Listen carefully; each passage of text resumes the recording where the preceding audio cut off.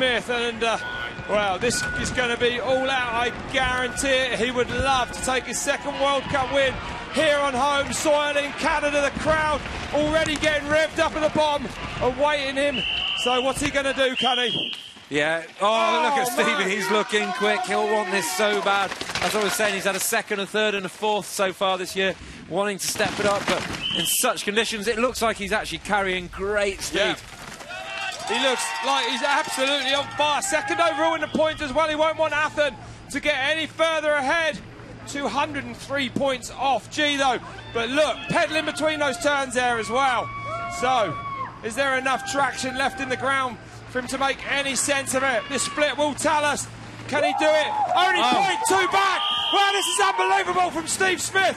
What an effort as he enters the part of the course now, though everyone seems to have lost a bit of time between those two splits, but maybe not. Steve Smith, man, he's carrying unbelievable speed into this wood section. Did you see how he drifted around that left-hand corner out of the open there? It's as if he's on. he's gapped into this rocks as well.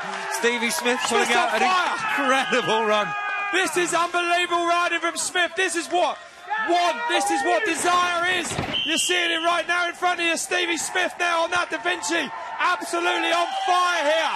Can he take back point two of a second and take the win here in Anne? When we thought maybe the game was over, Stevie Smith just looked at it, was rubbing his hands and just wanting more and more from this course.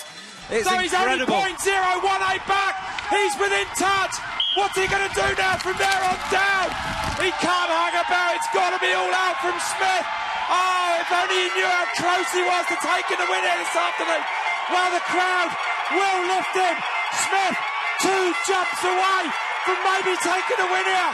What's he going to do? He's penning it ah, look at time. Smith does it by nearly a second, and I haven't shouted that hard for nearly three years. That was an incredible run from Smith Smith. He's done the impossible, Cunny.